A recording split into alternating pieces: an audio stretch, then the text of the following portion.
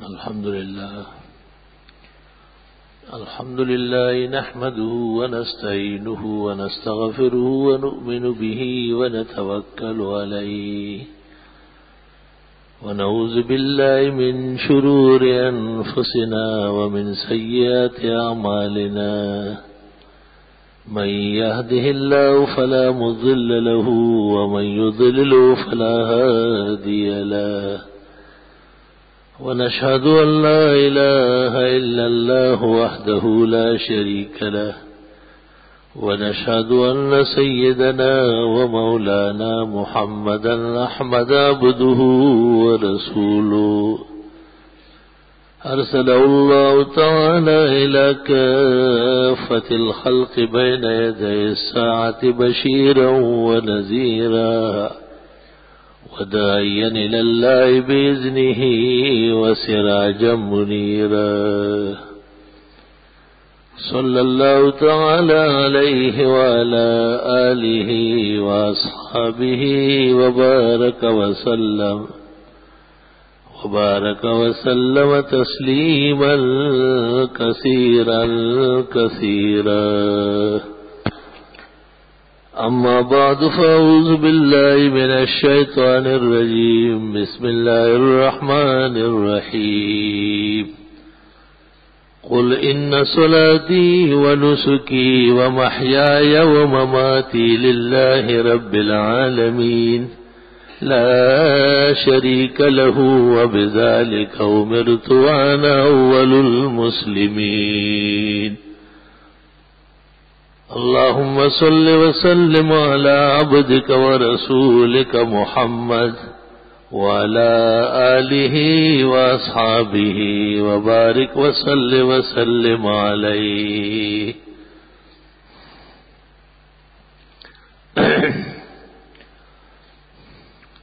قابل قدر بزرگوں محترم بھائیوں اور عزیز دوستوں قربانیوں پر مشتمل عید گزر گئی اور مسلمانوں نے اپنی توفیق کے مطابق اللہ تعالی کے سامنے قربانیاں پیش کر دی۔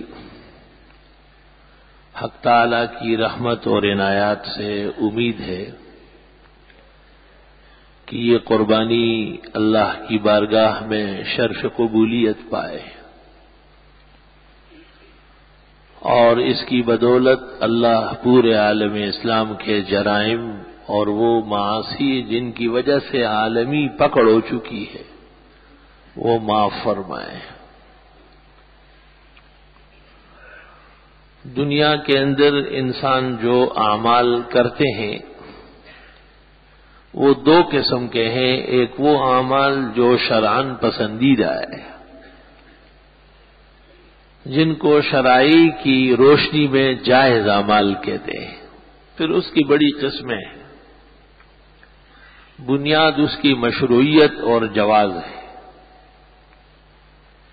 ایسے اعمال کے بارے میں مسلمانوں کے عقیدے کے مطابق یہ توقع، یقین کے درجے میں ہے کہ جب اللہ تعالیٰ اسے قبول فرمائے تو دنیا اور آخرت میں اس کے بہترین سلے ملیں گے، انعامات ملے گی۔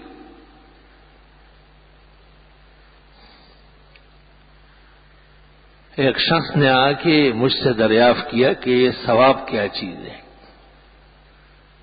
کہ آپ حضرات کہتے ہیں کہ اس کا ثواب ہوگا؟ ثواب کس کو کہتے ہیں؟ ثواب حقیقت میں ساب صوبو سے ہیں اور یہ اس چیز کو کہتے ہیں جو کسی کو کسی عمل کی واپسی کے وقت ملتی ہے۔ جیسے آپ نے دھوبی کو کپڑا دے دیا میلا کو چیلا اور اس نے دھو دھا کے استری کر کے صاف ستھرا کر کے آپ کو واپس کیا۔ اس لیے عربی میں کپڑے کو سوپ کہتے ہیں، جس کی جمع اسواب آتی ہے۔ ہمارے اعمال ہمارے مطابق ہے اور ہم خود بھی بہت کمزور اور حقیقت ہے کہ صحت اور صداقت سے بہت دور ہے۔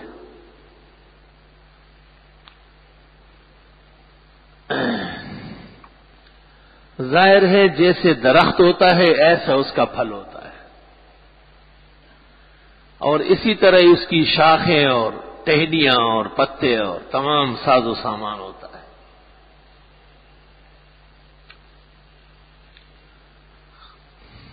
بخاری شریف میں ہے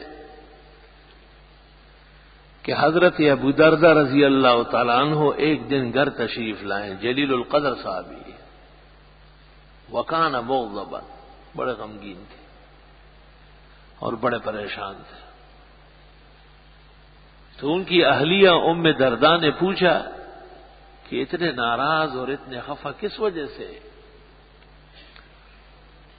تو انہوں نے کہا کہ امت کے پاس سب سے بڑی دولت نماز کی تھی۔ اور اب میں لوگوں کو دیکھتا ہوں تو ان کی نمازیں ٹھیک نہیں۔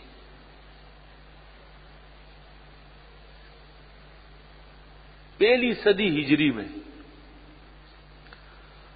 صحابہ کرام رضوان اللہ علیہ مجمعین، نماز میں جو نمازی اتار و چڑھاؤ کرتے ہیں، اس پہ خفا ہوتے تھے۔ اور بخاری میں ہے کہ انہوں نے فرمایا کہ یہ جو تم جماعت سے نماز پڑھتے ہو ان نہا من سنن الہدا یہ آ حضرت صلی اللہ علیہ وسلم کی ان سنتوں میں سے ہیں جن پر ہدایت موقوف ہے۔ اگر یہ رہے گی تو تم ہدایت پر رہو گے، اور اگر یہ فوت ہونے لگی تو تمہاری ہدایت چھن جائے گی۔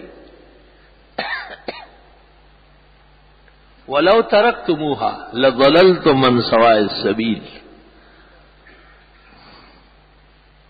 اور اگر تم نے اس کو چھوڑ دیا تو سیدھے راستے سے تو ہٹ جاؤ گے بٹک جاؤ گے۔ یعنی یہ ایک معیار ذکر کرتا ہوں تاکہ ہمیں احساس ہو جائے کہ ہمارے اعمال میں تبدیلی کہاں تک آئی ہے۔ کیا مسلمان اس دور میں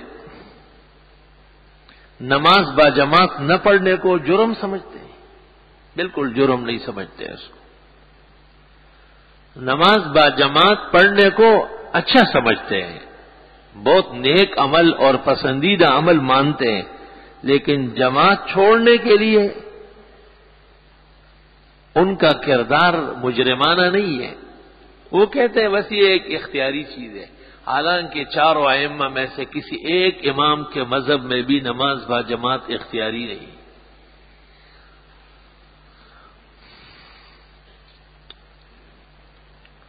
اختیاری کیسے ہوگی؟ آ حضرت صلی اللہ علیہ وسلم نے پوری عمر، پوری زندگی خود امامت فرمائی۔ اور جب لوگ بڑھ گئے، صحابہ کرام سے مدینہ منورہ سرسبز ہو گیا۔ تو پھر یہ فکر بھی پیدا ہوئی کہ اب ان کو نماز با جماعت کے لیے جمع کیسے کریں گے؟ فضو کرن نار بعضوں نے کہا کہ آگ جلا دیں گے، دھواں دیکھ کر کے شولا۔ لوگ آ جائیں گے تو فرمایا کہ یہ تو مجوس کا طریقہ ہے۔ اچھے کام کے لیے بھی برا طریقہ استعمال کرنا گمراہی ہے۔ جیسے لوگ ٹیلی ویژن اور وی سی آر کے ذریعے تبلیغ کرتے ہیں۔ اچھے کام کا طریقہ بھی اچھا ہوگا۔ کسی آدمی نے فلم بینی میں مرتکب تک پکڑا گیا تو کہا آپ یہاں بیٹھے فلم دیکھ رہے کہا بتانے کے لیے کہ اس میں کتنی کباہت ہے اور کتنی کتنا گناہ ہے۔ مزہ تو چکنا چاہیے۔ تو اس شخص نے پوچھا کہ پھر ایک دفعہ زنا بھی کریں گے اور شراب بھی پی کر کے تب بتائیں گے کیا؟ اگر یہ اصول ہے آپ کا، تو پھر آپ زنا کر لیں، پھر کہے کہ زنا حرام ہے۔ اور اسی طرح چوری کر کے ہاتھ کٹوا دیں اپنا، پھر دکھائیں کہ دیکھو چوری کتنی کبھی ہے۔ جائز کاموں کے لیے جائز طریقے اختیار کرنے ہوں گے۔ ناجائز طریقے اختیار کر کے اگر ہم نے بڑا پہاڑ نیکیوں کا کھڑا کیا، اللہ تعالیٰ کے ہاں اس کی حیثیت مچھر کے پر کے برابر۔ ہے اگر جائز کام کر کے ہم سرات مستقیم پر چلتے گئے اور بظاہر ہمیں کوئی کامیابی نہیں ہوئی، لیکن اللہ کے ہاں ہم کامیاب ہو اس کے ہاں تو یہ عذر کافی ہے کہ یا اللہ جو طریق آپ نے بھیجا تھا، ہم تو اس پہ قائم تھے۔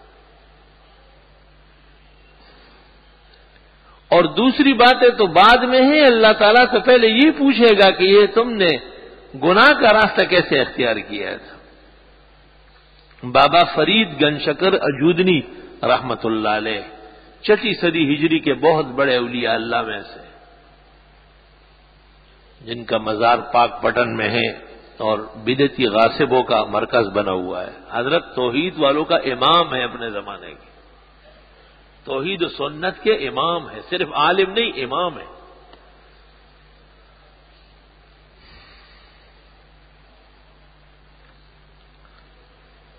یہ اور سکھوں کا بڑا بابا گرو نانک اکٹھے ایک استاد سے پڑھتے رہے۔ کافی زمانے تک۔ ان کا بھی یہی زمانہ ہے، چھٹی صدی ہجری۔ کہتے ہیں کہ بابا گرو نانک کبھی کبھی کہتے تھے کہ ہندو بہت زیادہ ہے، مسلمان بہت تھوڑے ہیں۔ یہ لڑ جگڑ کے یا تبلیغ کر کے ہندوؤں کو ختم نہیں کر سکتے۔ میں ہندوؤں کا روپ اختیار کر کے ان کا سادھو بن جاؤں گا۔ اور پھر ان کو توحید کی طرف اور آ حضرت صلی اللہ علیہ وسلم کی سنت کی طرف لاؤں گا۔ استاد سمجھاتے تھے کہ غلط کام ہے۔ ایسا نہیں کرو۔ تو گرو نانک واپس آیا پھر۔ مستقل سکھ مذہب بن گیا جس کا اسلام سے دور کا بھی کوئی واسطہ نہیں۔ سکھ سرے سے ایمان نہیں جانتے کہ ایمان کیا ہے۔ ایک بت اس ان کے ہاں نہیں ہے۔ وہ بدتیوں کے حوالے کیا کہ تم یہ کام کرنا۔ باقی سب کام ان کے ہندو ہو گئے۔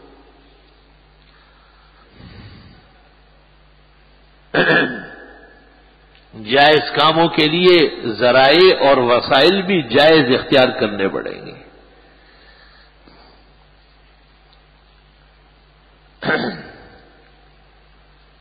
یہ ایک اصول مسلمہ ہے۔ تو جب حضرت کی خدمت میں یہ بات پیش کی گئی کہ حضرت آگ جلاتے ہیں تو حضرت نے فرمایا کہ یہ تو مجوس کا طریقہ ہے، وہ آتش پرست ہے۔ اور مجوس ایک بے دین اور گمراہ فرقہ ہے۔ فضکرن ناقوس تو پھر یہ ہوا کہ چلو کوئی گنٹال بجا دیں گے۔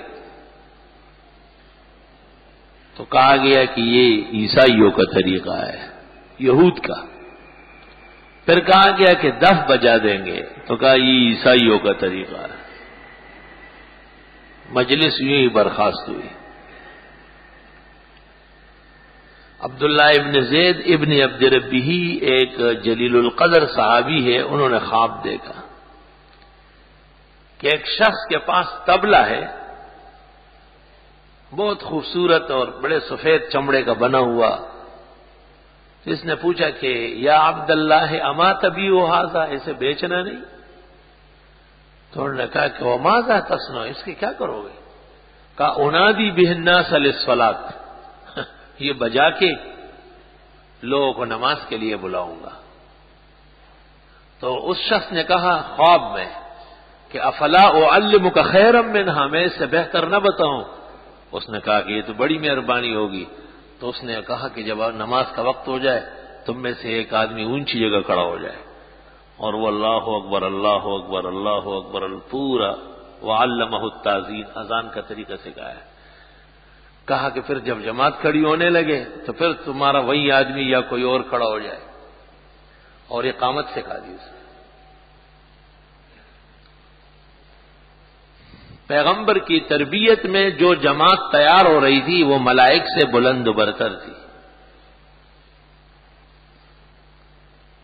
خواب سے بیدار ہو کے خدمت اقدس میں حاضر ہوئے۔ اور جناب نبی کریم صلی اللہ علیہ وسلم سے کہا کہ حضرت جی اس طرح خواب دیکھا۔ آپ نے فرمایا، اللہ سبحان و تعالی انزل ملکن و علمک تعزین اللہ تعالی نے فرشتہ بھیجا تھا اور اس نے آپ کو اذان سکھائی۔ ہے ارشاد فرمائے کہ بلال کی آواز بڑی اچھی ہے۔ ان اندا سو تم کا اور آواز ہے بھی اس کی بڑی۔ اس کو سکھاؤ۔ آج بلال نے اذان دے دی۔ اور نماز کے لیے اور جماعت کے لیے مسلمان جمع ہونا شروع ہوئے۔ ایسی اذان دی ہے کہ صرف فرش نہیں، عرش پر بھی اذانیں ہو رہی ہیں۔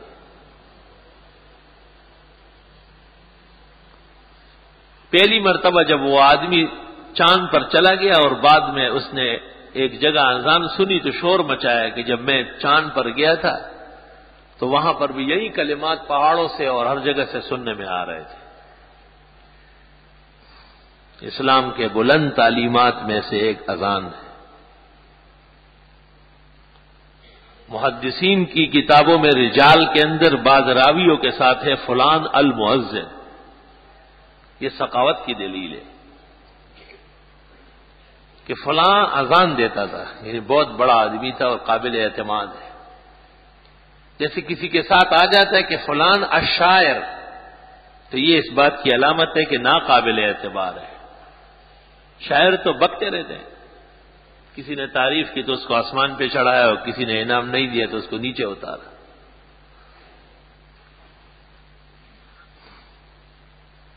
تو ایک شخص آ رہے ہیں بخاری میں جو شاعر ہے ابو العباس نام ہے اس کا۔ جب اس کی روایت آ جاتی ہے تو امام بخاری اس کے ساتھ کہتے ہیں وہ ولایت تحم فی شعری ہی وہ شاعر ہے لیکن بدنام نہیں ہے، پاک صاف آدمی ایسے شعرا بھی ہے، مولانا روم اور شیخ سادی اور حافظ۔ اور دنیا کے ایسے بڑے بڑے کارآمد انسان گزرے ہیں جنہوں نے اپنے کلام اور سخن کے زور سے مسلمانوں کو بھولا ہوا سبق یاد دلایا ہے۔ تو جماعت تو بہت ضروری ہے، نماز با جماعت پڑھنا۔ یہ جو حدیث سیاح میں مروی ہے، اور آن حضرت صلی اللہ علیہ وسلم نے ارشاد فرمایا کہ میرا جی چاہتا ہے کہ میں نماز کے لیے اذان دلواؤں، اور پھر کسی کو کہوں کہ اس دن وہ جماعت کرائے۔ اور میں لوگوں کے گھروں کو جا کے دیکھوں جو اذان اور جماعت کے بعد بھی گھروں میں بیٹھے ہیں۔ ان پر ان کے بیوت اور گھروں کو آگ لگا کے جلا دوں۔ یہ صرف نماز نہ پڑھنے کی سزا نہیں ہے، یہ نماز با جماعت میں نہ آنے کی سزا ہے۔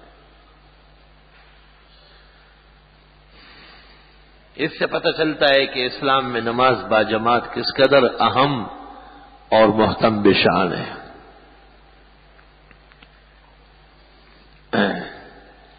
ایک نماز ہم پڑھتے ہیں، وہ ایک نماز ہے۔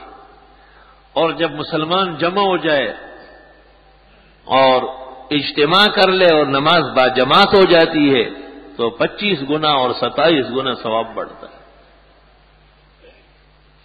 بہترین بدلہ ہو جاتا ہے۔ اس کا اجر اور ثواب بلند برتر ہو جاتا ہے۔ ہاں وہ جس شخص نے مجھ سے کل پوچھا ایک معصوم بچہ تھا لیکن بہت ذی عقل و ذی شعور تھا۔ بعض بچے بزرگوں سے عقل مند ہوتے ہیں اور بعض بزرگ بچوں سے کمتر ہوتے ہیں۔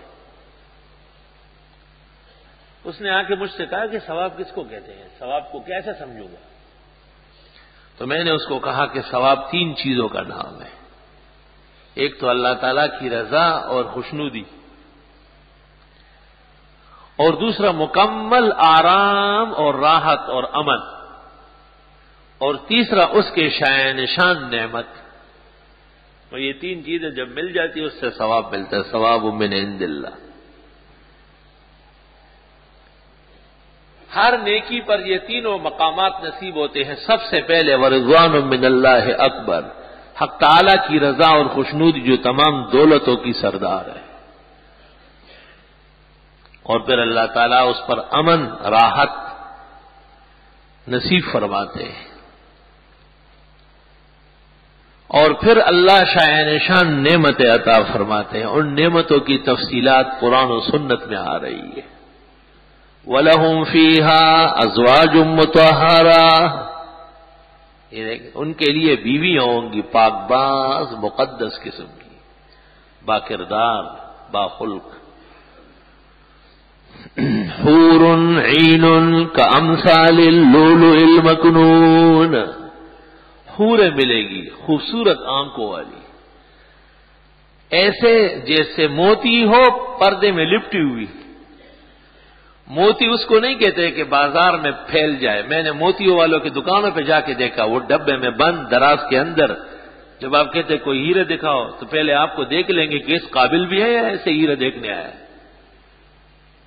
سبحان اللہ۔ کا امسال علم عورت اس وقت تک عورت ہے جب وہ پردوں میں لپٹی ہوئی ہو۔ اور جب وہ بازار میں آ جائے اور پنڈال میں کھڑی ہو جائے اور دفتر اور کارخانوں کی زینت بنے، تو پھر وہ عورت نہیں رہی، وہ تو اب مرد کا مقابلہ کر رہی ہے۔ لعن اللہ الرجال المتشبہین بالنساء ایسے مردوں پر لانت فرمائی ہے جو عورتوں جیسی حرکتیں کرتے ہیں، ان جیسے کپڑے، ان جیسی حرکات، سکنات، یہ سرخ، یہ بنیان، یہ یوں۔ اب تو جدید جدید فیشن آستین بنائیں گے تو لڑکیوں کی ذرا یار مان دے اسی جی نے کئی بدنامی دی۔ ولعن اللہ النساء المتشبہات بالرجال۔ اور خدا تعالی نے ایسی عورتوں پر لانت فرمائی ہے۔ جو مردوں جیسی ہے ات و شکل صورت اختیار کر دی۔ اسلام میں لباس میں بھی فرق ہے، عبادات میں بھی فرق ہے۔ مرد ایک رنگ کا لباس اختیار کرتا ہے۔ مرد بھی سر ڈھکتا ہے لیکن ٹوپی اور پگڑی سے اور عورت بھی سر ڈھکتی ہے مگر دو پٹے اور برکے سے۔ محدثین نے کتابوں میں وضاحت کی ہے کہ کوئی ایسا رنگ جو خاتون نما ہو مرد کے لیے حرام نہ جائے۔ اور کوئی ایسا رنگ ڈھنگ جو مرد نما ہو، خواتین کے لیے نامناسب ہے۔ جیسے اس وقت بعض اسکولوں میں لڑکیاں سفید کپڑے پہنتی ہیں، وہاں کے محتمین اور عملے کو بھی شریعت کے مطابق رہنا چاہیے۔ صرف مدرسہ اور اسکول بنانا کامیابی نہیں ہے، کامیابی یہ کہ اس کو حدود شرح میں چلایا۔ انہیں بھی اپنی اصلاح کی فکر کرنا چاہیے۔ جنت کی نعمتیں اللہ تعالی بیان فرماتے ہیں۔ مسل الجنت التی وہ دل مثال ان جنتوں کی جن کا وعدہ پرہزگاروں سے کیا گیا۔ اس میں نہریں ہوگی، پانی کی، شراب کی، دودھ کی، شہد کی۔ ولہم فیہا من کل سمرات اور ہر قسم کا اعزاز اور بہترین قسم کے پھل ملیں گے۔ محمد الرسول اللہ صلی اللہ علیہ وسلم تو یہاں تک فرماتے ہیں، مالا عین رات ایسی نعمتیں کہ آنکھ نے دیکھی نہیں ہوگی، ولا ان سمعت، کان نے سنی نہیں ہوگی، ولا خطر اعلی قلب بشر۔ اور کسی انسان کے دل میں کھٹکی بھی نہیں ہوگی۔ اپنی شان کے مطابق نصیب فرماتے ہیں۔ اللہ تعالیٰ نصیب فرمائے۔ جماعت کے ساتھ نماز پڑھنا بہت ہی بڑی تعلیمات میں سے اور جن نمازوں کی جماعت ہوتی ہے، وہ نمازیں بھی محتم بشان ہے فرض کی جماعت ہو رہی ہے۔ واجب کی جماعت ہوتی ہے صرف وطر کی تراوی کے ساتھ۔ رمضان شریف میں گیارہ مہینے چاروں مذاہب بنا جائے عید واجب ہے، با جماعت ہوتی ہے، کوئی اپنی عید خود نہیں پڑھ سکتا۔ نفلوں کی جماعت ممنوع اور ناجائز ہے۔ امام ابو حنیف رحمت اللہ علیہ کی فقہ میں ایک یا دو آدمی پڑھ سکتے ہیں۔ عالمگیری میں ہے اگر تیسرا آ گیا تو سلام پھیر کے ختم کر دیں۔ صلاح تدائی ناجائز۔ اور جس کو فقہا مکرو کہے، امام محمد سے عالمگیری کی پانچویں جل فصل فل کراہیت میں نقل ہے، وہ حرام کے معنی میں یعنی صلاح تصویر با جماعت پڑھنا حرام۔ حرام کس کو کہتے ہیں؟ جیسے شراب پینا، زنا کرنا، چوری کرنا ڈھاکہ ڈالنا، یہ حرام ہے نا سب۔ تو وہ تو بنگلوں میں ڈالتے ہیں اور یہ مسجدوں میں کرتے ہیں۔ عقل اور ہوش ہونا تو آدمی انسان بنے۔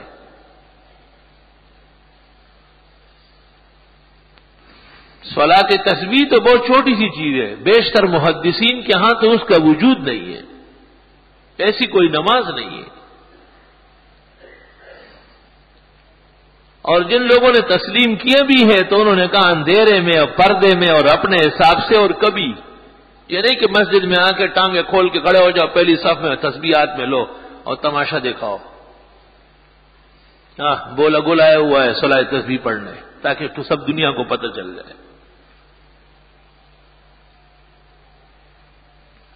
نوافل میں سولاد تصویر جیسی کمزور اور بے بنیاد چیز نہیں۔ ہے اس لیے بڑے علماء نے کہا ہے کہ محدثین نہ بیان کرے اس ان کی شان کے لائق نہیں۔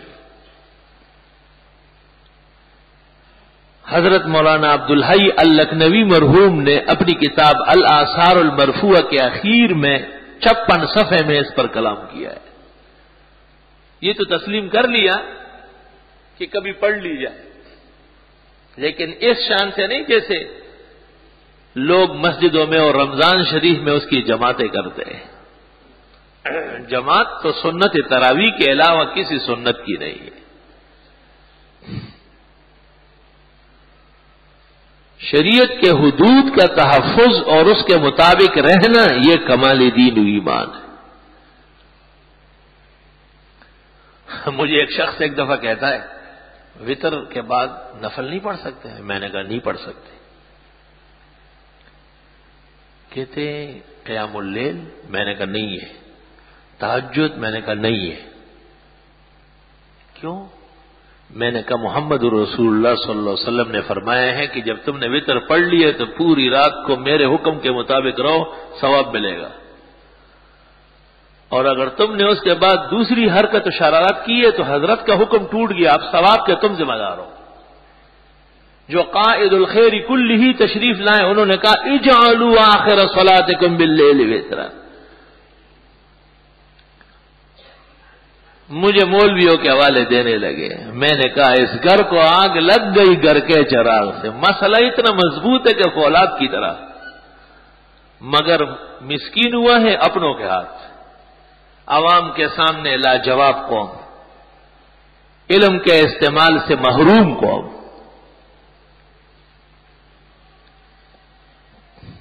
اتباع سمجھانا ضروری ہے کہ اصل دین کثرت نوافل کا نام نہیں، جناب نبی کریم صلی اللہ علیہ وسلم کے اتباع کامل کا نام ہے۔ اجر تو اللہ اتباع پر دیتے ابو بردہ ابن نیار نے جو نماز عید سے پہلے قربانی کی اور گوشت بانٹ کے آ گیا۔ بخاری میں حضرت کو کہا وہ ان جیرانی جیا پڑوس والے بالکل بھوکے تھے۔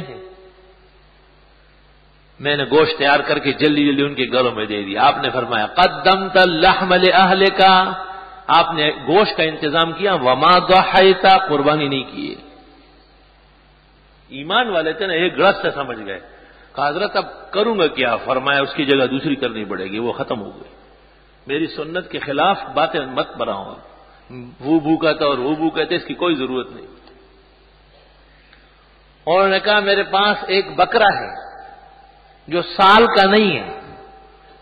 لیکن سال کی طرح لگ رہا ہے، اس کے علاوہ اور کچھ بھی نہیں ہے۔ آپ نے فرمایا، کر تو اسے۔ تیری طرف سے ہو جائے گا، قیامت تک کسی کی طرف سے سال سے کم عمر کا بکرا نہیں ہوگا۔ بخاری کے الفاظ میں ولی یوج ان احدم باد دوسری قربانی کروائی ہے نہیں؟ اس لیے تحاوی میں ہے کہ صحابہ کی ایک جماعت ایسی تھی کہ جب وطروں کے بعد نفل پڑھ لیتے تھے تو پھر وطر دوبارہ پڑھتے تھے کہ وطر ٹوٹ گئے۔ وطر برباد ہو گئے ہمارے۔ تو یہ سمجھتے ہیں کہ ہم نے پوری رات کاٹی اور ہم نے نفلیں پڑھی اور ہم نے تاجد اور ادھر شریعت کہتی ہے کہ آپ نے جرم کیا ہے۔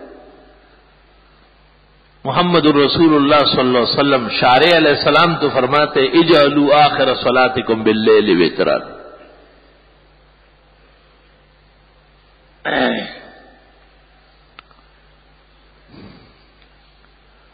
اتباع نام ہے تین چیزوں کا۔ عمل پیغمبر سے قولن فیلن ثابت ہو۔ بنیادی ہے۔ اس پر خیر القرون میں عمل ہو چکا ہو۔ اور جنہوں نے ہم تک دین پہنچایا ہے، انہوں نے اس کو روایت کیا وہ سند صحیح کے ساتھ۔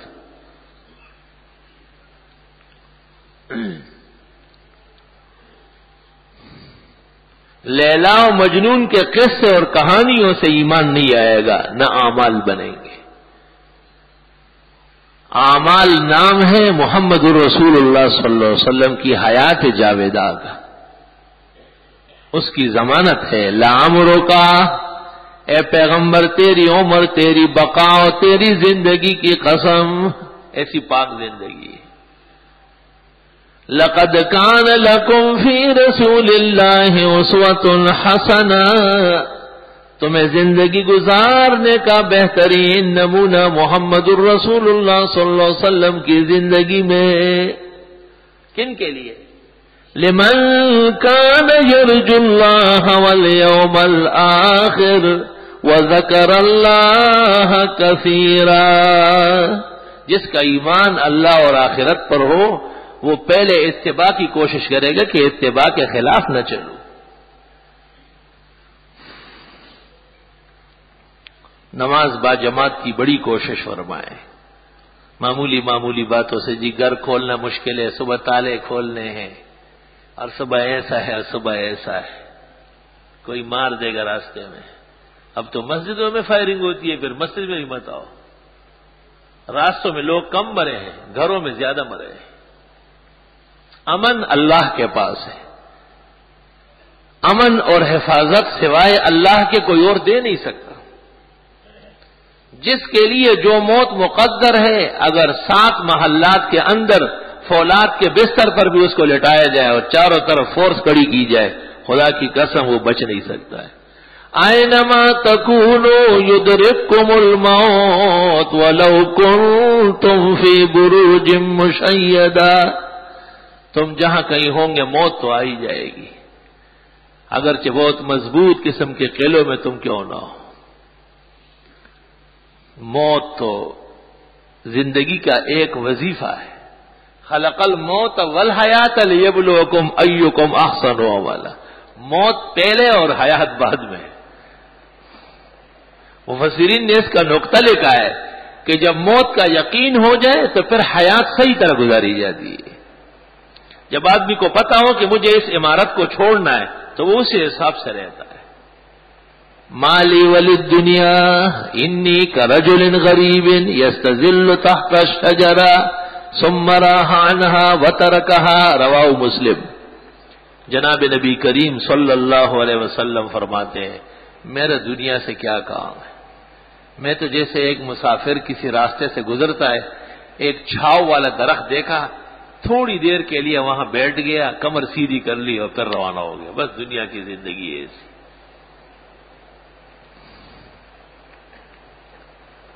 سبحان اللہ۔ دنیا سے بھی دل باندھنا کوئی کمال ہے۔ شریعت مقدسہ نے ایک عجیب بات کہی ہے نا کہ دنیا میں انسان کا تعلق تین چیزوں سے بہت زیادہ ہے۔ سب سے زیادہ تو مال سے۔ اس لیے بیٹوں کے دور کرنے پر بھی اور خاندان کے اجاڑنے پر بھی راضی ہو جاتا ہے۔ جب اس کو دولت کا اثر ہوتا ہے۔ میں ایک شخص کے پاس گیا، میرا بڑا جاننے والا تھا۔ تو وہ بہت بڑھاپے میں تھا، مجھے کہا، میں آپ کے لیے چائے بناتا ہوں۔ میں نے کہا، آرام سے بیٹھو۔ پھر کچھ دیر بعد ان کا نوکر آیا۔ اس کو کہا کہ، مفتی صاحب کے لیے چائے بناؤ۔ میں نے کہا، بس جس طرح آپ بیٹھے ہیں، یہ ٹھیک ہے۔ میں نے دریافت کیا کہ آپ کا کوئی بچہ بچہ نہیں ہاں پانچ بیٹے ہیں، خدا کا فضل ہے۔ کہاں ہے؟ ایک کنیڈا میں ہے، ایک بنیڈا میں، ایک منیلا میں ہے مجھے دوسرے ملک گئے میں نے کہا، نہیں، آپ کے بیٹے بتاؤ، وہ کہاں ہیں؟ یہ تو کنیڈا کے اور امریکہ کے ہو گئے نا، ان کے تھے وہی پہنچی وہی پہ خاک جہاں کا خمیر تھا۔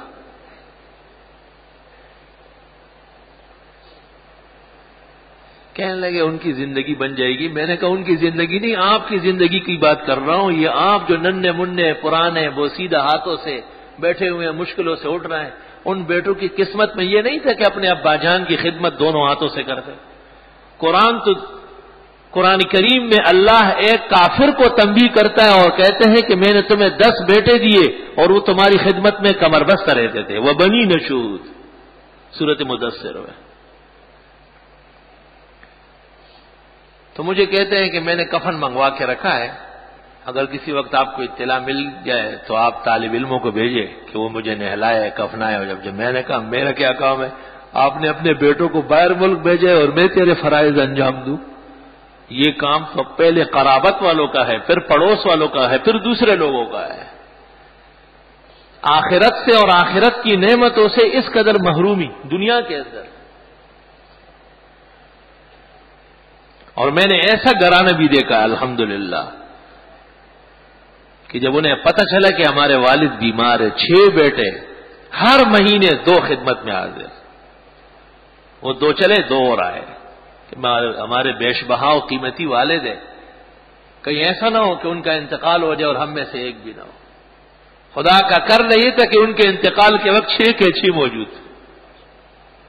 اپنے گھر میں دین بیان کرو، اپنے بچوں کو اخلاق سکھاؤ، ان کو ایمان کی برکتیں سکھاؤ، پیسے کی محبتیں نہ سکھاؤ۔ پیسوں کی مشینیں بننے کے لیے اللہ نے ہم کو نہیں بھیجا ہے۔ اللہ فرماتے وما خلق الجن ول ان میں نے تو خاص اپنی عبادت کے لیے جن اور انس کو پیدا کیا ہے۔ عبادات سے انحراف کے بعد یہ دنیا جہنم ہے۔ اور وہاں کی جہنم تو قطعی اور یقینی ہے۔ آزن اللہ منہا ویا کو اللہ تعالی محفوظ فرمائے۔ نماز اور شاع نشان طریقے سے پڑھنا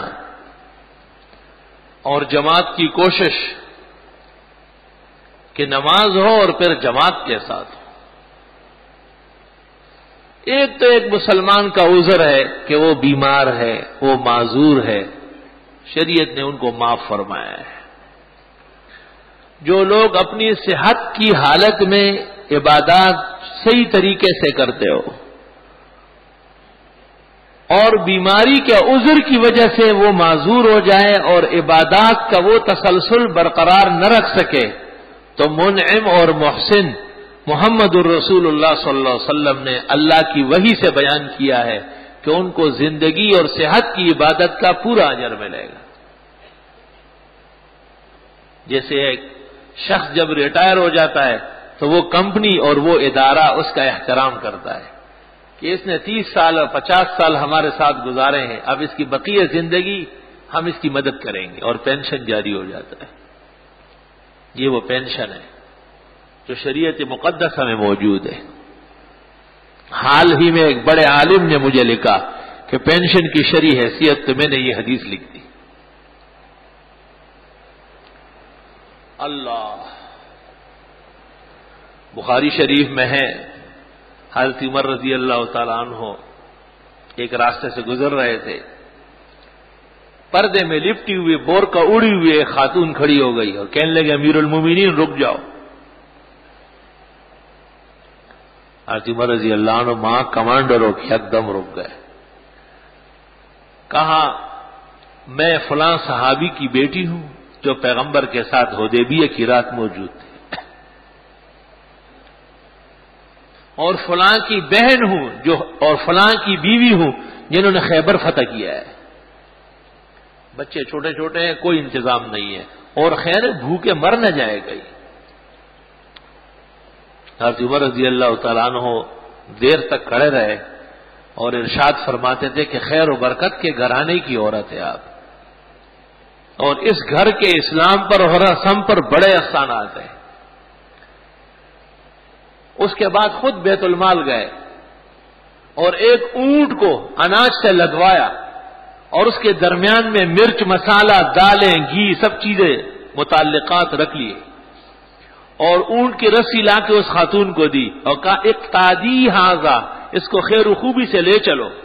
پورا اونٹ لدا لدایا اور ارشاد فرمایا، اس کے ختم ہونے سے پہلے اللہ اس سے بہتر انتظام کرے گا۔ تو کسی نے کہا کہ امیر المومنین اکثر طلحہ بخاری کے الفاظ میں۔ حضرت بہت زیادہ دے دیا۔ لوگ تو تھے نا، پریشان ہونے والے۔ بہت زیادہ دے دیا، اکثر طلحہ حضرت عمر نے کہا، اوہ، کیا بات کہی۔ میں ان کے والد کو اور بھائی اور خامن کو اب بھی دیکھ رہا ہوں کہ وہ قلعے فتح کر چکے تھے اور تمام صحابہ وہاں سے راشن اور قیمتی چیزیں اٹھا اٹھا کے لے جا رہا ہے۔ وہ منظر میری آنکھوں کے سامنے ہے۔ یعنی یہ اس گھر کی معزز اور مقدس خاتون ہے جنہوں نے اسلام کی جلیل القدر خدمات کی۔ اس سے بھی پتہ چلا کہ جن لوگوں کے اسلام اور دین اور علم پر احسانات ہو ان کی آل و اولاد اور آنے والی نسل کے ساتھ بہترین سلوک کرنا اور ان کو پالنا، یہ بھی اسلامی تعلیمات میں سے۔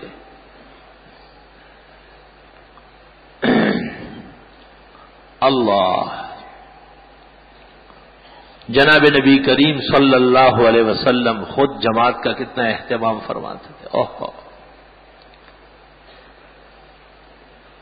بیماری کے عالم میں جس کے بعد آپ کی وفات ہو گئی، نمازوں میں آتے رہے۔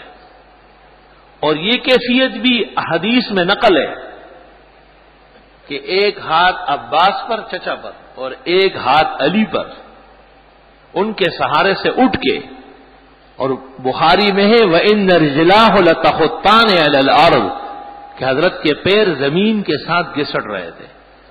تکلیف زیادہ تھی، پیر مبارک نہیں اٹھا سکتے تھے۔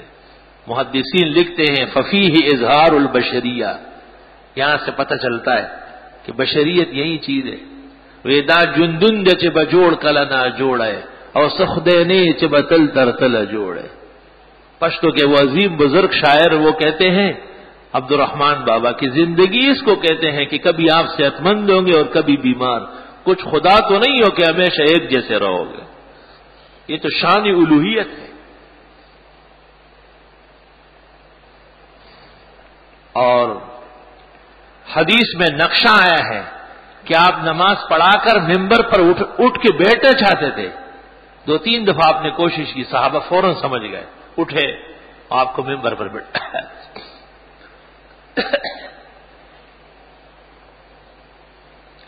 اس میں یہ بھی ہے کہ آ حضرت صلی اللہ علیہ وسلم کا سر مبارک پٹی بندی ہوئی تھی، سر میں درد تھا، بہت شدید۔ باقاعدہ پٹی نظر وہ آلاراسی آسبا پٹی بندی ہوئی۔ اس وقت آپ نے تقریر کی اور امت کو نسائح ارشاد فرمائے۔ صحابہ فرماتے ہیں، ایسی نصیحت آپ نے کی کہ ہم سمجھ گئے کہ رخصتی کا وقت قریب ہے۔ یا رب صلی وسلم علیہ۔ جس دن حضرت کا وصال ہوا ہے، بخاری شریف میں ہے۔ آ حضرت صلی اللہ علیہ وسلم نے فجر کے وقت اجازت دی تھی کہ ابو بکر نماز پہلے سے اجازت ہو چکی تھی کہ ابو بکر امامت کرے۔ جس وقت آپ نے طبیعت مبارک میں کچھ افاقہ محسوس کیا تو آپ اٹھے اور مسجد نبوی جانے کے لیے گھر کا پردہ اٹھایا۔ سامنے ایک پرد لٹکا ہوتا تھا۔ صحابہ کی جماعت کھڑی تھی اور حضرت بکر صدیق نماز پڑھا رہے تھے۔ صحابہ کہتے ہیں کہ جب ہمیں یہ اندازہ ہو گیا نماز میں کہ حضرت پردہ اٹھا کے آ رہے ہیں، تو ہم یہ سمجھنے لگے کہ آج کی نماز اس خوشی میں توڑی دیں گے۔ نماز جب قضا ہو پھر ادا ہو، نگاہ جب قضا ہو کب ادا ہو۔ اتنے میں آ حضرت صلی اللہ علیہ وسلم نے ہاتھ کے اشارے سے ارشاد فرمایا کہ نماز جاری رکھو۔ پردہ واپس نیچے لٹکایا اور واپس ہو گئے، کیونکہ آگے بڑھ نہ سکے۔ صلی اللہ علیہ وسلم۔ محدثین نے عجیب بات لکھی ہے کہ یہ آ کے دیکھنے میں کیا حکمت تھی۔ کیونکہ آپ کو اندازہ تھا کہ سفر قریب ہے۔ میں اللہ کے حضور یہ گواہی دوں گا کہ حضرت میں نمازیں پڑھاتے ہوئے دیکھ کے آیا ہوں۔ آپ کی عبادت میں مشغول چھوڑ کے آیا ہوں۔ کیسے محبوب عمل ہے نماز اور فجر کی نماز۔ سبحان اللہ ایک واقعہ فجر کا ہے۔ اس پر اتفاق ہے محدثین کا کہ اس واقعے کے اس دن چاش کے وقت آ، حضرت صلی اللہ علیہ وسلم کا وصال ہوا ہے۔ نماز کے مناظر دیکھنا، نماز کی جماعتیں دیکھ کے خوش ہونا، جماعت کے لیے اہتمام کرنا، یہ اسلام کے جلیل القدر تعلیمات اور ہمارے دین کی زندگی کے امثال و آوان میں سے، یہ کوئی معمولی بات نہیں۔ مجھے کسی نے کہا کہ ماشاء اللہ آپ مولویوں میں واحد مولوی ہے کہ محتمم بھی ہے، حدیث بھی پڑھاتے ہیں، فقہ اور نماز پانچ ہو خود پڑھاتے ہیں۔ میں نے کہا، میں نے اللہ سے یہ وعدہ کیا ہے اور اللہ سے دعا کی ہے۔ حرم شریف جا کے۔ اور للت القدر میں کہ خدا مجھے وفات تک مرتے دم تک امام رکھے آپ۔ یہ برداشت نہیں ہے کہ زندگی ہو اور خود امامت نہ ہو۔ اور میں سمجھتا ہوں کہ اللہ رب العالمین نے اس دعا کو قبول فرمایا ہے۔ یہاں تک میں نے دیکھا ہے کہ بلڈ پریشر اور شوگر اتنا ہائی کہ ڈاکٹر صاحب کا کہنا یہ ہوتا ہے کہ دفتر میں لیٹے۔ لیکن یہاں امامت کے بعد جب دوبارہ چیک ہوتا ہے تو وہ آرام آ چکا ہوتا ہے۔ دو عمل میں نے دیکھے ہیں، ایک وضو کرنا، فوراً وضو، اس سے فوراً صحیح ہو جائے گا۔ اور دوسرا نماز خوش دلی سے پڑھنا۔ جناب رسول اللہ صلی اللہ علیہ وسلم نے بھی فرمایا ہے جو علت قرت عینی فصولات میں نے دور حدیث کے طلباء کو کہا ہے اور اور لوگوں کو بھی کہتا ہوں کہ جو لوگ نماز یا جماعت کے پابند نہیں ہیں، ان کو میری طرف نسبت کرنے کی اجازت نہیں ہے۔ وہ میرے کچھ بھی نہیں لگتے۔ کوئی تعلق نہیں مجھ سے۔ اور کوئی کام اور کوئی وسیعت میری نہیں۔ بس یہی ایک بات ہے کہ وہ مرتے دم تک نمازی رہے اور جماعت کا پورا اہتمام کرے۔ اگر کسی شخص نے یہاں سے علم پڑھا ہے اور بہت نمبر لیے ہیں، سو سو نمبر بھی ہر کتاب، خدا کی قسم، میں اسے اپنا شاگرد نہیں سمجھتا ہوں، جب وہ امامت خود نہیں کرتا اور جماعت کی پابندی نہیں کرتا ہوں۔ وہ غیر آدمی، اجنبی ہے، ایسے گسا ہوا ہے۔ اس نے سیکھا کیا ہے؟ یہ کوئی معمولی بات یہ مقاصد میں سے، یہ زوائد میں سے نہیں، جلیل القدر مقصدوں میں سے ایک ہے۔ سارے انبیاء علیہ السلام اپنی اپنی قوم کے امام تھے۔ اور سب کے سرتاج و سرخیل محمد الرسول اللہ صلی اللہ علیہ وسلم۔ عمر بر آخری لمحے تک امام تھے۔ اور جب دنیا سے جاتے وقت ابو بکر صدیق کو امامت کے لیے منتخب کیا، تو صحابہ نے اس کو دلیل ان کی خلافت کا بنایا کہ امامت سے بڑا عمل کوئی ہے اور حضرت نے ابو بکر کو کہا تو خلیفہ بھی ابو بکر ہے۔ حضرت عمر نے جو تقریر کی ہے انصار کے محفل میں، تو یہی بات کہی نا، کہ ہے کوئی جن کو پیغمبر نے کہا ہو کہ مسجد نبی میں نماز پڑھائے؟ تو معاجرین و انصار نے کہا کہ وہ ابوبک کرے کہا، ان کے ہوتے ہوئے دوسرا خلیفہ کیوں چنتے ہو؟ کس طرح چنتے ہو؟ تو سب نے کہا کہ یہی ہمارا خلیفہ۔ اسی پر اتفاق ہوا۔ اور ایک روایت میں ہے کہ قیامت کے دن جب وہ کر آئیں گے تو اعلان ہوگا کہ محمد الرسول اللہ کے بعد اس امت کا بڑا امام آ رہا ہے۔ جگہ خالی کر دو۔ اعلان ہوگا یہ۔ اور صحابہ کہتے کان ابو بکر آلمنا ابو بکر ہمارے عالم بہت بڑے تھے۔ اور کتابوں میں لکھا ہے، فل عالم و حق کو بل امامہ بڑا عالم نمازیں پڑھایا کرے۔ قاری صاحب کو کیا پتہ چلتا ہے؟ وہ جنازے میں شادی والی آیتیں پڑھ لے گا اور نکاح کے اندر جنازے والی پڑھ لے گا۔ وہ تو ہر ڈنگ سے ڈنگت کرتا رہتا ہے۔ اس غریب نے تو توتے کی طرح یاد کیا ہے۔ توتے کو کسی نے شکایت ہے کہ کہیں بلی کھا نہ جائے تو میں۔ تو پشو دی نخری۔ اس کو یاد کرایا تھا۔ تو بلی آئی اور اس نے پکڑ لیا منہ میں اور یہ پھر بھی کہتے تھے کہ تو تھی خیال کو پشو دی نخری۔ یہ وہ توتے ہیں۔ مسلح پہ آگے کرو تو آدمی پشیمان ہو جاتے کہ اس کو آگے میں نے کیوں کیا ہے۔ غلطی کر لی بہت بڑی۔ علماء کو محدثین کو فقہاں کو نمازیں پڑھانا چاہیے اور ممبروں پر آنا چاہیے تاکہ دنیا سیدھی ہو جائے۔ اللہ کا عہد و پیمان ہے یہ کہ علم کو بے آبرو نہیں ہونے دے گا۔ اور ان کے نصائح اور کلام میں اللہ نے اثر ڈالا ہے۔ بہرحال، زمانہ کہاں سے کہاں پہنچا مگر ہدایت کے ذرائع وہی ہیں جو محمد الرسول اللہ صلی اللہ علیہ وسلم لے کے آئے ہیں اور ان کو اپنانا ضروری ہے۔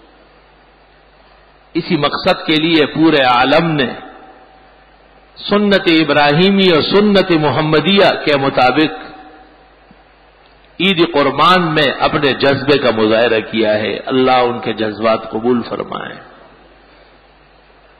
مسلمانوں نے یہ کوشش بھی کی کہ ان کی قربانی سنت طریقے سے ہو۔ اور یہ کوشش بھی کی گئی کہ ان کی قربانی کے حصے گوشت اور چرم وہ بھی مسلمانوں کے مصرف میں آئے۔ معمولی کوشش اور جدوجہد سے لوگ مدرسوں کی مدد کرتے کیونکہ یہ قوم کا سرمایہ ہے اور یہ مذہب کا ایک مظہر ہے۔ اس وقت آسمان کے نیچے اور زمین کے اوپر دین کے استحکام کے ذرائع سوائے دینی مدارس کے اور کوئی چیز نہیں۔ بلکہ میں تو کہتا ہوں کہ جیسے ہمارے رسول نبی کریم صلی اللہ علیہ وسلم سے پہلے لوگوں کے ایمان و اعمال اور ہدایت کی وابستگی نبی سے ہوتی تھی۔ آ حضرت صلی اللہ علیہ وسلم پر ہر طرح کی نبوت ختم کر دی گئی۔ آپ خاتم و مختم ہے کامل و مکمل ہو متمم متمم نبی ہے صلی اللہ علیہ وسلم۔ اس امت کی اصلاح اور ہدایت کا عظیم ذریعہ، واحد ذریعہ عالم ناسوت میں وہ دینی مدرسے ہیں، جو اہل حق کی نگرانی اور قیادت میں چل رہا ہے مسلمانوں کو اپنی وابستگی بھی بڑھانا چاہیے۔ اور پراپیگنڈوں کے شکار نہ ہو افواہوں سے بچے۔ ہمارا ایک بڑا مخلص دوست ہے۔ بہت نیک اور بڑا شریف ایک دن مجھے کہتا ہے، میں اپنے مل کا آٹا ان کو دیتا ہوں جو مستحق ہے تو میں نے اس کی طرف ایسا دیکھا، میں نے کہا، کیا مدرسوں کے علاوہ بھی کوئی اور مستحق ہے؟ یہ اتنا بڑا گناہ کی بات آپ کرتے ہیں کہ آپ کا ایمان سلب ہو سکتا ہے۔ اگر اس نظریے پر مر گئے تو دنیا سے کافر گزرو گے۔ یہ تو انگریز کا پرپیگنڈا تھا۔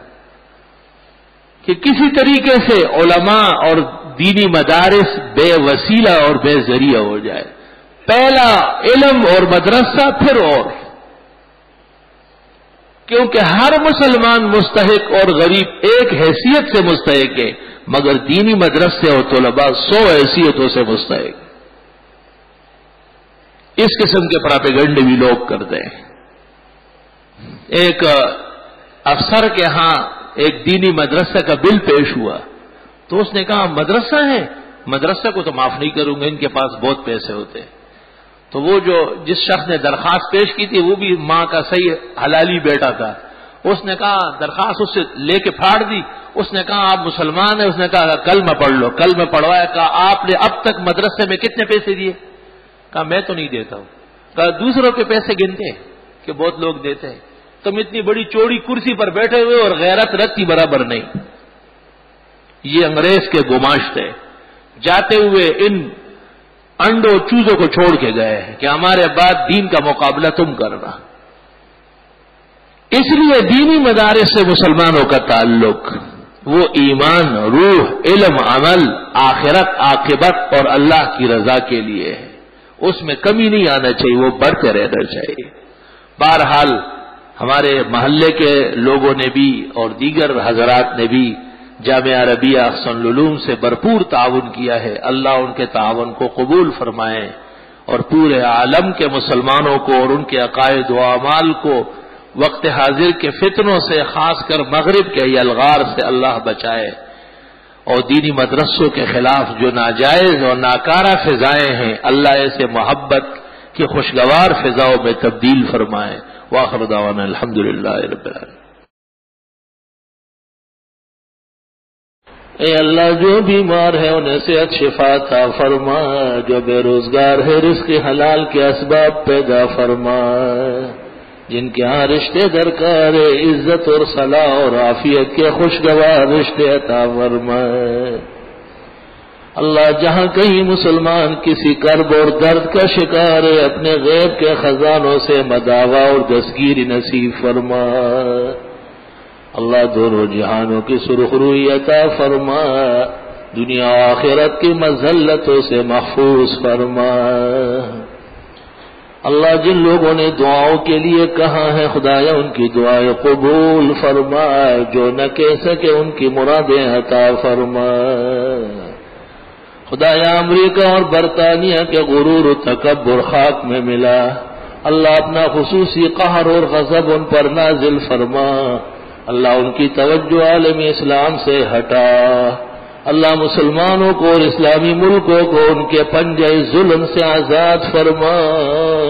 پورے عالم اسلام کو اپنی ہستی قائم کرنے کی توفیق عطا فرما۔ وصلی اللہ تعالی علی خیر خلقی محمد والی واصحابی اجمعین بہنوں فیض اللہ صاحب کی والدہ کی طبیعت صحیح نہیں ہے۔ اللہ تعالیٰ انہیں صحت و شفا و زندگی عطا فرمائے۔ مسئلہ یہ معلوم کرنا ہے کہ ایسی اذان جس کے بارے معلوم ہو کہ اذان بدتی دے رہا ہے، تو کیا اس اذان کا جواب دے؟ مبتدین کی اذان کا جواب نہیں ہے۔ کتابوں میں لکھا ہے کہ اذان مسنون کا جواب ہوگا۔ خلاف سنت اذان اس کی اس کا جواب دینا جائز نہیں ہے۔ گلشن کی ایک بڑی مسجد کے امام صاحب کا فرمان ہے کہ امام سامنے ہونے کی صورت نماز نہیں ہوتی، اللہ یہ کہ امام کے اوپر کیا جائے۔ کراہیت لکھی فقان ہے لو سجد اعلیٰ کور امامت ہی لیکن درست یہ ہے کہ نماز ہو جاتی ہے۔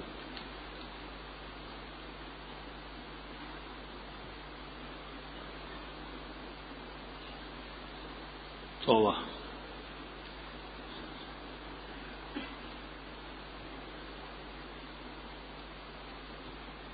بہرحال اس امام صاحب کا یہ کہنا ٹھیک نہیں ہے۔ امام کا کور اگر پیشانی پر بھی ہو تب بھی نماز ہو جاتی ہے۔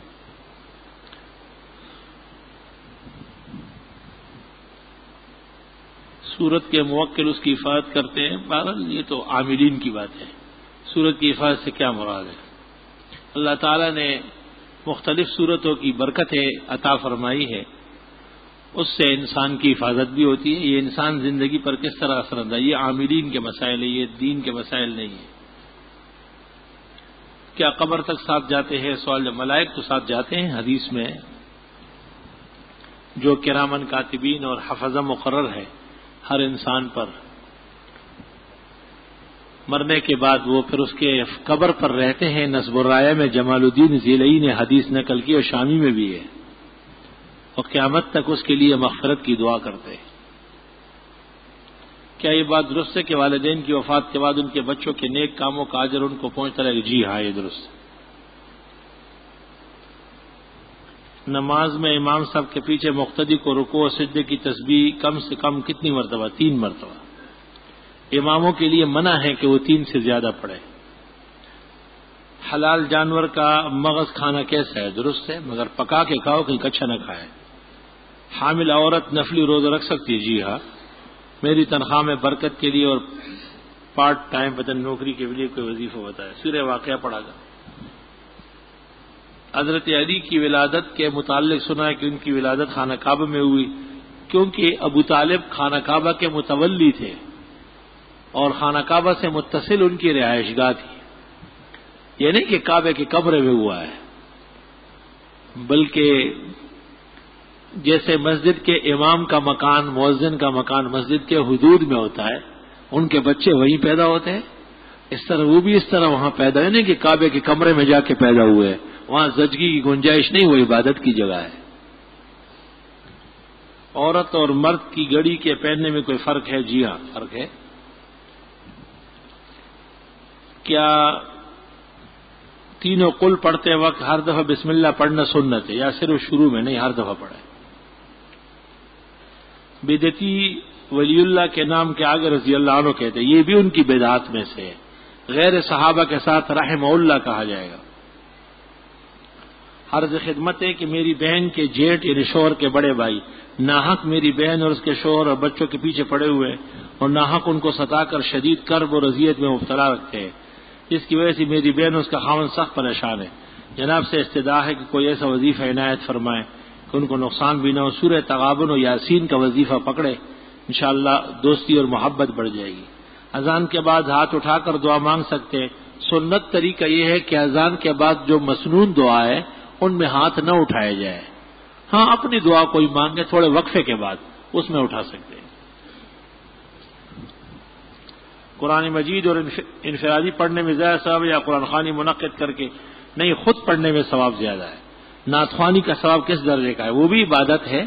بشرطے کے حدود شرح میں پڑھا جائے اور نعت کہنے والا اور بنانے والا دونوں معاہد ہو، متبع سنت و بدتی نہ ہو۔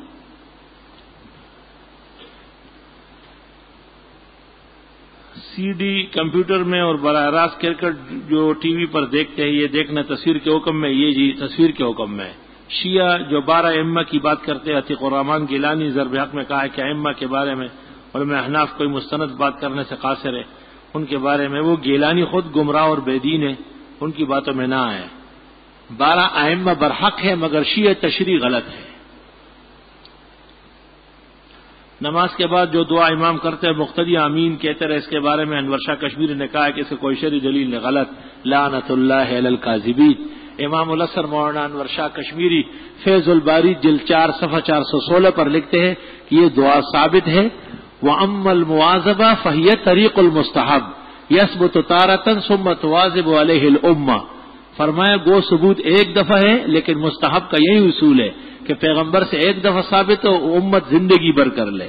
فیض الباری، صفحہ چار سو سترہ، جلد رابع۔ حضرت شاہ صاحب رحمۃ اللہ علیہ نے دونوں کا اس بات کیا ہے۔ منگنی کی شرح حیثیت کیا ہے؟ ایک وعدہ اور ارادہ ہے۔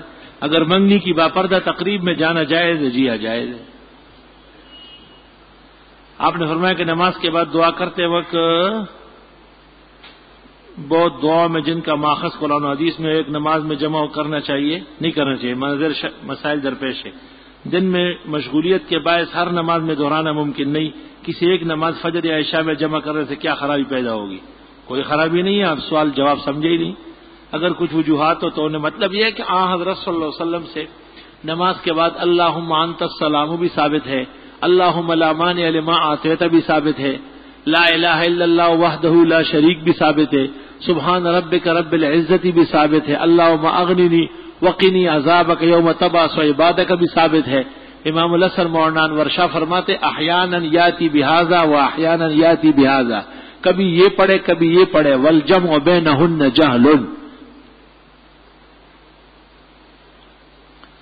ثنا اور الحمد کے بعد سورت ملانے سے پہلے بسم اللہ پڑھنا بہتر ہے۔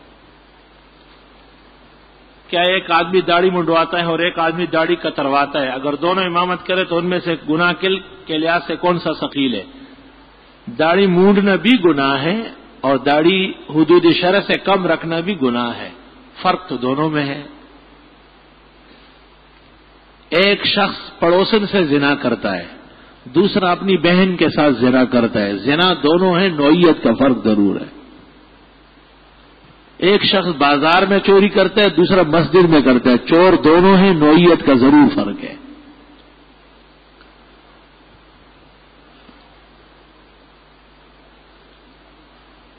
محبوب سبونیت و طالبین، حضرت شیخ شیخ عبد القادر کی طرف منسوب ہے اور ان کی بعض مندرجات حضرت شیخ کی ہے۔ بعض لوگ کہتے ہیں کہ فقہ نفی کی جتنی بھی کتابیں ہیں، کسی مسترد کتاب امام اعظم تک نہیں پہنچتی۔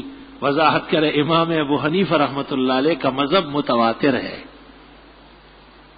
جس طرح بخاری شریف، مسلم اور ابو داود ترمیزی میں سے ایک بھی آ حضرت صلی اللہ علیہ وسلم کے دور میں نہیں لکھی گئی، لیکن یہ مسلم ہے کہ احادیث آپ کی ہے۔ اس طرح فقہ نفی کی تمام کتابیں امام ابو حنیفہ کے مسائل ہی پر مشتمل ہے۔ ایسا کہنے والا پرلے درجے کا بے وقوف ہے۔ امام شافی سے میزان الاعتدال میں زہبی نے نقل کیا کہ امام شافی کہتے تھے ملم یوم ان نظر فی کتب ابی حنیفہ فلا رسوخ له فی الدین۔ جو امام ابو حنیفہ کی کتابیں غور سے نہیں دیکھتا، اس کے علم اور دین پر کوئی اعتماد نہیں۔ تو امام شافی ایک سو پچاس میں پیدا ہوئے، جب امام ابو حنیفہ فوت ہوئے۔ کتابیں تھی تب تو امام شافی کہتے ہیں نا۔ اور پیدا ہوتے ہی تو نہیں فرمایا، پچاس سال بعد فرمایا ہے۔ یہ جو امام محمد اور ابو یوسف کی کتابیں ہیں، یہ سب امام ابو حنیفہ کی کتابیں ہیں، روایت ان کی ہے۔ کیا کسی کافر کو آگ میں جلانا جائز ہے، حرام نہ جائز ہے؟ آ حضرت صلی اللہ علیہ وسلم نے سختی سے منع کیا، لا تو عزیب بنار آگ سے سزا مت دو۔ کیونکہ آگ کی سزا دینا صرف اللہ کی شان ہے۔ میں اپنی بقائے زندگی جہاں میں گزارنا چاہتا ہوں، والدین اجازت نہیں دے رہے، حالانکہ ہم پانچ بھائی ہیں، کیا میں والدین کی اجازت کے بغیر اس سعادت کو حاصل کر سکتا ہوں؟ دین کے لیے موجودہ زمانے کے والدین کی اجازت کی ضرورت نہیں ہے، کیونکہ وہ عموماً دین سے ناواقف ہے ہاں بے دینی کے کاموں میں جانا جائز نہیں، ان کو ناراض کر کے۔ کافی عرصے سے نوکری کے سلسلے میں پریشان ہو اللہ سبب پیدا کرے۔ شراکت تعوی شائع ہوا ہے جس میں ابن عربی کو کافر زندگی اور منافق کہا ہے۔ یہ تو جس شخص نے شرح لکھی ہے، اس کی بدیانتی ہے۔ امام ابو جعفر تحاوی تو تین سو سینتیس میں گزرے ہیں اور ابن العربی چھٹی صدی میں ہے، تو وہ امام تحاوی نے کیسے ان کو برا کہا ہے؟ کچھ تو سوچنا چاہیے۔ یہ شرح تو کسی غیر مقلد، غیر معتبر آدمی کی ہے، جس نے اپنی منمانی کی ہے۔ کیا حکومت کی کسی جگہ پر حکومت کی ایجاد کے بغیر بنی ہوئی مسجد کو توڑا جا سکتے غلط ہے؟ بلکہ حکومت کو کوئی حق نہیں کہ مساجد اور مدارس کو ادھر سے ادھر کر لے۔ حکومت کا فرض یہ ہے کہ مسلمانوں کو مسجد، مدرسہ بنا کے دے۔ اور اگر یہ نہ کر سکے اور لوگ خود کر لے، تو حکومت قطن مجاز نہیں ہے اس کو تبدیل کرنے کی۔ کیا قیامت کے روز بچے ماں کے نام سے اٹھیں گے؟ جی ہاں۔ بچے باپ کے نام سے پکارے جائیں گے، جن کا باپ نہ ہو، ماں نے چوری کی ہو، ان کا خطرہ ہے کہ وہ ماں کے نام سے پکارے جائیں گے۔ یہ روایت جھوٹی ہے کہ قیامت کے دن لوگ ماں کے نام سے پکارے جائیں گے، بلکہ بخاری نے باپ قائم کیا ہے، باب اننا سید نبی آبا اہم یہ باب ہے کہ قیامت کے دن لوگ باپ کے نام سے پکارے جائیں گے، نہ کہ ماں کے نام سے۔ دل پڑھائی میں نہیں لگتا نہیں لگ رہا کوئی نسخہ بتائے۔ نسخہ کسی طبیب سے پتہ کرے خوشتا بنا کے دے دے گا وہ۔ تصویروں والی اشیاء کی خرید فروخت ناجائز ہے۔ یعنی زیروح کی تصویر، جاندار کی۔ ایک دیوبندی عالم ہمیشہ جنازے کی نماز مسجد کے اندر ہی پڑھاتے صرف میت کی چارپائی یا باہر محراب کے سامنے۔ یہ بعض جگہ تو دیکھنے میں آتا ہے، اکثر شہر میں، لیکن یہ صحیح نہیں ہے۔ دیوبندی اور چوبندی کی بات نہیں، مسئلہ غلط ہے اس کا۔ عید کے موقع پر بہت سے عیسائی قصائیوں کے مسلمانوں کے قربانی کی جانور ضبط کی شریعت میں کیا ہے؟ اہل کتاب کا زبیحہ حلال ہے۔ حضرت میرے بیٹے کی عمر آٹھ ماہ ہے، آنکھوں کی تکلیف میں آنکھوں سے لگاتار پانی آ رہا ہے۔ فکشفنان کا فبسر کل یوم حدید۔ صبح و شام دودھ پر پڑ کر وہی اس کی ماں کا دودھ یا جو وہ پیتا ہے، صاف ستھرا سفید رنگ کا سلائی۔ تین اس میں اور تین اس میں ڈالتے رہے، انشاءاللہ آرام آ جائے گا مرد کی قمیض کا گریبان کھلا رکھنے کا حوالہ، شمائل شریف صفحہ سینتیس۔ گریبان کے بٹن اور کنڈیاں کھلی رکھنا سنت طریقہ ہے۔ بند گریبان کی کوئی دلیل ثبوت شریعت میں نہیں، یہ لوگوں نے اپنا فیشن بنایا ہے۔ ہاں یہ بات صحیح ہے کہ کھلا گریبان ایسے بھی نہ ہو کہ آپ لوگوں کو اپنا سینہ اور چھاتیاں دکھاتے رہے۔ جیسے اس زمانے کے نوجوانوں پر لڑکیوں کا رنگ غالب ہے۔ لڑکیاں بھی ایسی بے حیا اور بے شرم نہیں ہے وہ بھی بڑی با پردہ اور باحیا ہے۔ وہ اس روایت سے غلط فائدہ اٹھاتے ہیں، باقی مسئلہ دو ٹوک اور صحیح ہے۔ خدا کے فضل سے میری دو بیٹیاں ہیں، اس بار دعا کرے کہ اللہ تعالیٰ بیٹا عطا فرمائے، آمین۔ اللہ نصیف سوال یہ کہ مولانا اشرف علی صاحب کی کتاب بیشی زیور کے نام سے خریدنا کیسا، بہت بہترین مولانا اشرف علی صاحب کی بڑی کتابوں میں سے جو امت پر احسان کیا ہے، ایک بہشتی دیور ہے، علم کا خزانہ ہے۔ علم اور فقہ گویا دین کے تمام ضروریات اس کتاب میں صحیح صنعت کے ساتھ موجود ہے۔ کتاب خیر و برکت سے لبالب بھری ہوئی ہے۔ جو شخص اس کو اول سے اخیر تک دیکھے گا، اللہ اس کو بغیر علم کے موت نہیں دے گا۔ پہلے خطبے کے دوران ہاتھ باندھنا، دوسرے کے چھوڑنا، مجھے معلوم نہیں ہے کہ یہ کہاں سے لیا ہے۔ فرض نمازوں میں نفل بیٹھ کر پڑھنا کیسا ہے؟ فرض نمازوں میں نفل بیٹھ کر۔ فرض نمازوں کے علاوہ کہو نفل بیٹھ کر پڑھ سکتے ہیں۔ مسجد کی حالت میں دعائیں مانگنا کیسا ہے؟ بہت اچھی بات ہے۔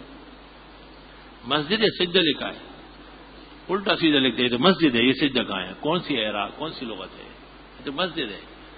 سجدے کی حالت میں عربی دعائیں جائز ہیں، لیکن جیسے لوگوں میں مشہور ہے کہ نماز کے بعد دعا کرتے کرتے سجدے میں چلے جاتے ہیں۔ فتح عالمگیری فصل الفص سجدات میں لکھا ہے۔ کہ عوام کو منع کر دیا جائے یہ بیدات میں سے۔ ایک بہن نے اپنے بھائی کو داڑھی مونچھ مونڈتے ہوئے دیکھا، برائے مہربانی اس خواب کی تعبیر بتا دے۔ ممکن ہے دین کی کمزوری ہو، کبھی بھائی میں اور کبھی دیکھنے والے میں۔ ایک تبلیغی شخص کہتا ہے کہ آ حضرت صلی اللہ علیہ وسلم خود گلی گلی تبلیغ کرنے کے لیے گئے، تو آپ یعنی علماء کیوں نہیں جاتے؟ اس کا جواب میں انہیں کیا دے دوں؟ واہ بھائی واہ، الٹا چور کوٹوال کو ڈانٹے۔ ہاں؟ تبلیغ والا بھی بات کرنے کا اہل ہے اور لائق اسے حق کیا ہے؟ جہاد کا چور اول درجے کا۔ آ حضرت صلی اللہ علیہ وسلم جو جنگ میں جہاد کے لیے گئے، تبلیغ والوں سے پوچھو کہ تمہیں کیا آفت نازل ہوئی ہے؟ کس کینسر میں مبتلا ہو؟ کہ جہاد کے کلم کل خلاف کرتے رہتے ہو۔ آ حضرت صلی اللہ علیہ وسلم تبلیغ کے لیے اس طرح گلی گلی نہیں پھیرا اس کا ثبوت نہیں ہوا ہے۔ تبلیغ والوں سے حوالہ مانگو۔ آ حضرت صلی اللہ علیہ وسلم کا جو جہاد تھا، وہی تبلیغ تھا۔ اور جو آپ نے تبلیغ فرمائی اور نہیں چلی ہے، وہاں آپ نے جہاد فرمایا۔ یہ تو گھر جا کے بیٹھ کے بھاگ جاتے ہیں۔ بات کر لیا کسی نے نہیں مانی تو بھاگنے میں پھر ان سے کوئی تیز نہیں ہے۔ ان کے پیروں میں پہیے لگے ہوئے ہیں۔ کسی مسجد میں دیوبندی بریلوی جھگڑا ہو تو سب سے بزدل جماعت دنیا کی تبلیغی جماعت ہے۔ سب سے پہلے یہ بھاگنا شروع کر دیں گے۔ ہاں جو ایسے نہیں ہے اور پورے دین پر قائم ہے، علماء کے علم اور جہاد کی برکت اور تمام چیزوں سے اتفاق ہے۔ وہ اہل حق تبلیغی ہے، ان کا احترام ضروری ہے۔ لیکن ان کا یہ کہنا کہ ہم تبلیغ کرتے ہیں اور علماء نہیں کرتے، یہ ان کے زندگی اور ملحد ہونے کی نشانی ہے۔ تبلیغی نہیں ہے، وہ ملحد ہے۔ آپ سے ایک سوال کرنا ہے، وہ یہ کہ میں نے اکثر لوگوں کے گھروں میں اور دکانوں میں دیکھا کہ لکھا ہوا ہوتا ہے، یا اللہ یا محمد۔ یا اللہ تو صحیح ہے، یا محمد لکھنا شرک اور بدت ہے۔ کیا معراج کے سفر میں آپ نے اللہ پاک سے ملاقات کی، یہ اقوال مختلف ہے مشہور یہی ہے کہ ملاقات ہو چکی ہے، لیکن حق یہ ہے کہ نہیں ہوئی۔ وہ کون سے قبائل تھے جنہوں نے صحابہ کرام کو دین سیکھنے کے بہانے بلا کر دھوکے سے قتل کر دیے؟ اور آ حضرت صلی اللہ علیہ وسلم نے ان کے حق میں بدعا فرمائے بیر معاون کہلاتا ہے وہ۔ اور وہ اورینا وغیرہ کے قبائل تھے، قبیلے اورینا مختلف قبائل ہے وہ بہت سارے احیاء من العرب بخاری میں آتا ہے۔ زحل ہے، زکوان ہے، کئی قبیلے ہیں۔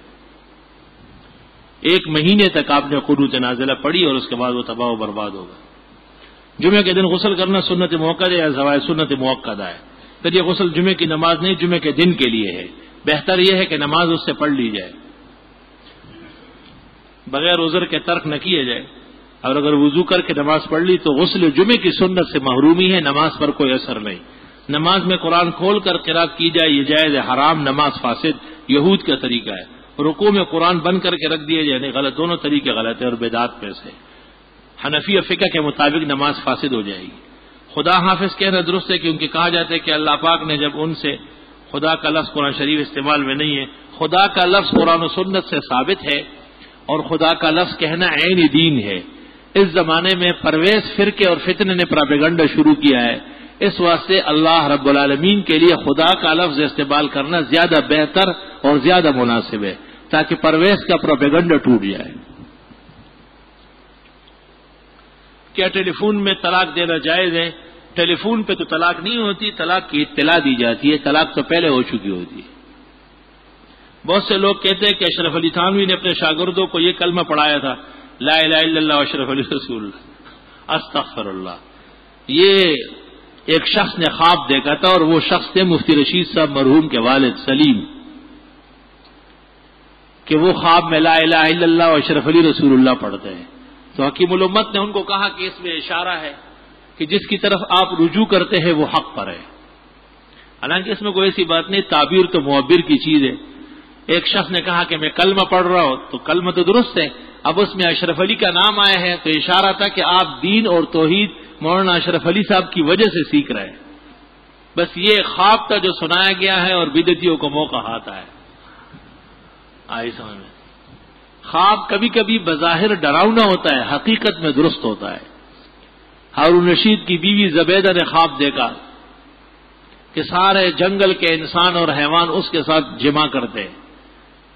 تو کتنا بھیانک خواب ہے لیکن تعبیر یہ آئی کہ اللہ آپ سے ایسا کوئی کام لے گا جس سے انسان اور حیوان فائدہ اٹھائیں گے۔ چنانچہ نہر زبیدہ انہوں نے کھدوائی ہے جس سے ہزاروں سال مسلمانوں نے اور حیوانات نے پانی پیا اور اب بھی موجود ہے۔